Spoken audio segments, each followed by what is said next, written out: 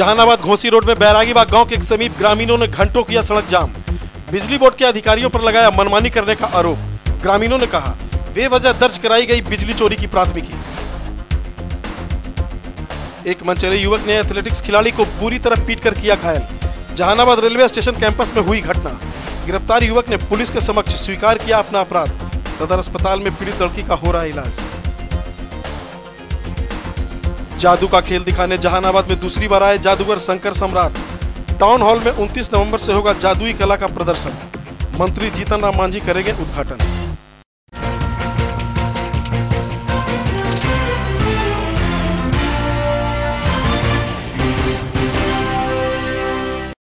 जहानाबाद नगर परिषद क्षेत्र के बैरागी बाग के ग्रामीणों ने जहानाबाद घोसी रोड को गाँव के समीप जाम कर प्रदर्शन किया। ग्रामीणों ने यह आंदोलन किया बिजली बोर्ड के अधिकारियों और कर्मचारियों के विरोध में। आरोप लगाया गया है कि अधिकारी और कर्मचारी मनमानी कर गाँव के एक दर्जन लोगों पर बिजली चोरी करने का मुकदमा दर्ज कर दिया है। सड़क जाम में गाँव की कई महिलाएँ और बच्चे भी शामिल थे, जो बिजली बोर्ड और जहानाबाद जिला प्रशासन के विरोध में नारे लगा रहे थे। दरअसल बैरागी बाग के एक दर्जन लोगों पर नाजायज ढंग से बिजली जलाने का आरोप लगाते हुए नगर थाने में प्राथमिकी दर्ज कराई गई है। इधर ग्रामीण बिजली बोर्ड के अधिकारियों की इस कार्रवाई से खफा हो गए और उतर गए सड़क पर।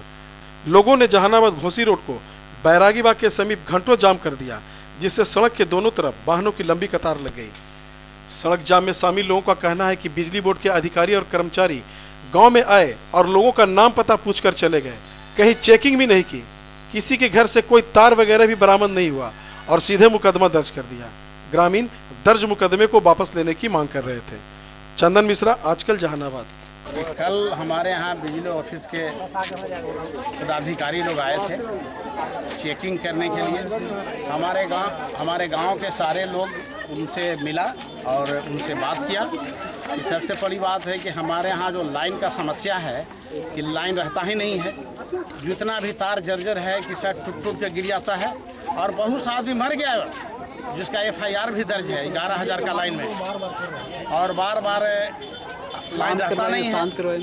और हमारे यहाँ का लाइन का ग्यारह हज़ार का तार जो है आज छः महीना पहले निकासी हो चुका है और आज तक तनाया नहीं। मुख्य मांग सबसे बड़ी बात यही है कि जो हम लोगों को यहाँ जो आए हैं न किसी के यहाँ तार पकड़े हैं न किसी के यहाँ सामान पकड़े हैं न कहीं जो सामूहिक हम लोग एक जगह थे सब लोग से कनेक्शन के नाम पर नाम लिख के लेके गए। सबों से बात किए कि क्या नाम है क्या नाम है और नाम लिख करके आप सबों पर फाइन कर दिए एफ़ आई करने का काम किया। और जबकि कोई साक्ष्य नहीं मिला है तो हम मांग करते हैं कि मेरा जो केस हुआ है उसको वापस किया जाए। मांग यही है कि जहाँ तक बात है कि कोई एविडेंस नहीं शायद ले गए यहाँ से। एक भी एविडेंस बता दें कि हाँ किन्हीं को सारे स्टाफ के पास रिकॉर्डिंग का मोबाइल रहता है। तो कोई बताएँ कि हमारे पास रिकॉर्डिंग का मोबाइल है हमने किसी का एविडेंस लिया किसी का कोई रिकॉर्डिंग किया कि हाँ इसके पास तार मिला या तार का कनेक्शन मिला तो उस पर हम एफ़ किए हैं। तो ऐसा अगर एक भी प्रमाण बता दें तो उनका एफ़ हम सही मानेंगे। और नहीं तो फिर जानबूझ के नाम पूछ करके जाकर एफ़ किए हैं।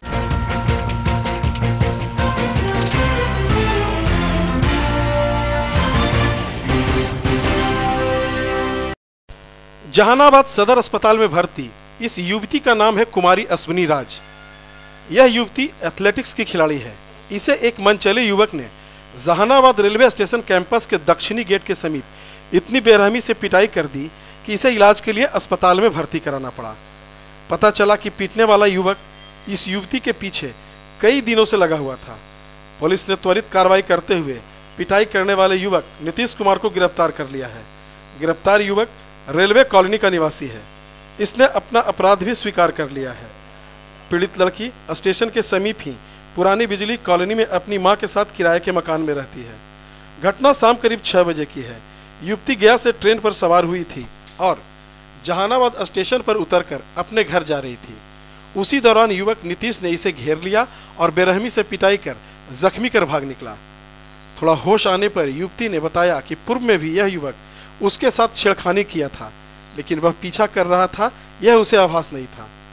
जहानाबाद जीआरपी के प्रभारी गजेंद्र कुमार ने सदर अस्पताल में जाकर पीड़ित लड़की का बयान लिया और रेल थाने में प्राथमिकी दर्ज की। चंदन मिश्रा, आजकल जहानाबाद। सर, उनको नहीं पहचानते थे कि एथलेट्स खिलाड़ी हमारे साथ कोई ऐसा गलती किया, कोई लड़का गमछी फेंक दिया, गाड़ी दुपहिया समा रहे थे, इसलिए हम लटपटा गए इसके लिए हम गाड़ी घरे लगा के फिर खोजने आए जब तक लेकिन सब भाग गया था। ये लड़की ट्रैक सूट और पैंट पहन के थे, हम पहचान नहीं पाए अंदर हम की लड़की है कि लड़का। फिर ट्रैक सूट में लड़की थी लेकिन हम पहचान नहीं सके कि लड़की है। लड़का कपड़ा में था अंधेरा थोड़ा था। हम सोचे यही है। बस हाथ से मारे थे सर। गया से आ रही है।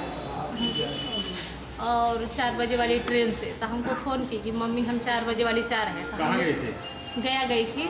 खेल के पर्पज से। तो वो बोली कि आ रहे हैं। तो हम गए इसको रिसीव करने। तो ये शायद प्लेटफार्म के पास से उतर के चल आई। और हम उसको उधर ढूँढने लगे। तो फिर देखे कि नहीं हम आगे चल गई डेरा में। तो आए ना तो देखे कि पूरा काफ़ी भीड़ लगल है। हम सोचे कि इसी तरह तो चल गए। तो फिर लगा ना कि आए देखे भीड़ चिड़ के तो देखे कि मेरी बेटी रो रही है खड़ा होके। ये खेलती है एथलेटिक्स है। मेडलिस्ट भी है। जी। इसको? सर क्रेंस कंट्री जो हुआ था ना उसमें आई थी फट आई थी। और फिर लंबा दौड़ होता है वो फट जाती है। उक्त महिला, जो लड़की है, अश्विनी राज तो ये अस्पताल में भर्ती थी, जहाँ हमने उनका जा करके फर्द लिया।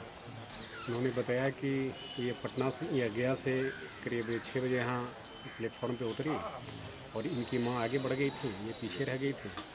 और जहाँ पे घटना के बारे में बता रही, वहाँ पे पहुँची तो एक लड़का अचानक इनको मारपीट शुरू कर दिया।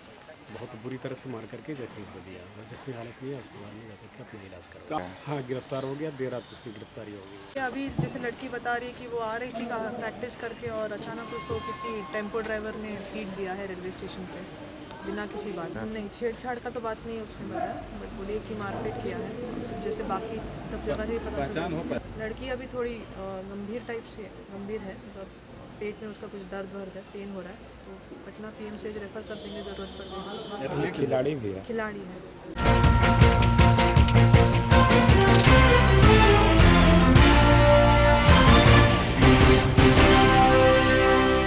जादू कोई तंत्र मंत्र नहीं बल्कि एक रहस्यमय एहसास है। यह एक तकनीकी कला है जिसका ज्ञान प्राप्त कर कोई भी व्यक्ति जादू के खेल का प्रदर्शन कर सकता है।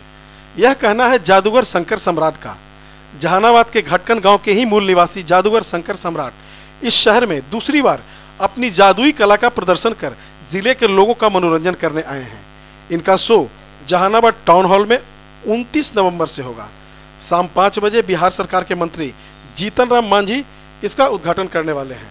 उद्घाटन समारोह में जिला परिषद की अध्यक्ष संगीता देवी को मुख्य अतिथि के रूप में आमंत्रित किया गया है। उद्घाटन के पूर्व जादूगर शंकर सम्राट ने मीडिया से बातचीत करते हुए कहा कि जादुई शाम में, रहस्यमय सफ़र में, जहानाबाद के लोगों का हम सफ़र बनना उनके लिए गौरव की बात होगी। चंदन, आजकल जहानाबाद। पुनः एक बार हमारी इच्छा हुई, हमारी टीम की इच्छा हुई है कि एक बार अपने ज़िले में ही जादू का कार्यक्रम किया जाए और यहाँ के दर्शकों को मनोरंजन दिया जाए। इस जादू में हमने मेरी पूरी प्रयास है कि नई नई आइटम लेकर आए और नई नई लोगों को तरीके से एंटरटेन करेंगे। और जादू के कुछ ऐसे आइटम हैं जो दर्शकों को बिल्कुल प्रभावित प्रभावित करेगा जैसे कि लाइव टीवी चलती हुई पंखा से इंसान को आर पार होना फ्लाइंग बॉक्स पलक झपकते कार गायब इस तरह से कई ऐसे आइटम हैं जो दर्शकों को बिल्कुल प्रभावित करेगा।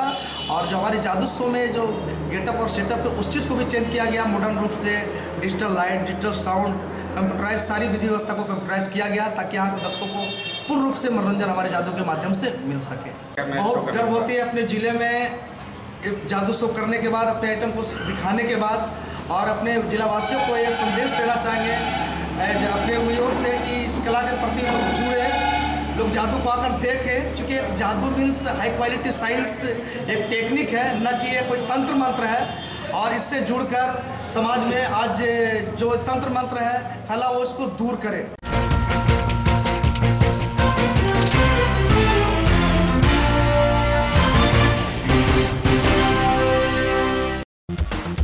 जहानाबाद घोसी रोड में बैरागीबाग गाँव के समीप ग्रामीणों ने घंटों किया सड़क जाम। बिजली बोर्ड के अधिकारियों पर लगाया मनमानी करने का आरोप। ग्रामीणों ने कहा बेवजह दर्ज कराई गई बिजली चोरी की प्राथमिकी। एक मनचले युवक ने एथलेटिक्स खिलाड़ी को बुरी तरह पीट कर किया घायल। जहानाबाद रेलवे स्टेशन कैंपस में हुई घटना। गिरफ़्तार युवक ने पुलिस के समक्ष स्वीकार किया अपना अपराध। सदर अस्पताल में पीड़ित लड़की का हो रहा इलाज। जादू का खेल दिखाने जहानाबाद में दूसरी बार आए जादूगर शंकर सम्राट। टाउन हॉल में 29 नवंबर से होगा जादुई कला का प्रदर्शन। मंत्री जीतन राम मांझी करेंगे उद्घाटन।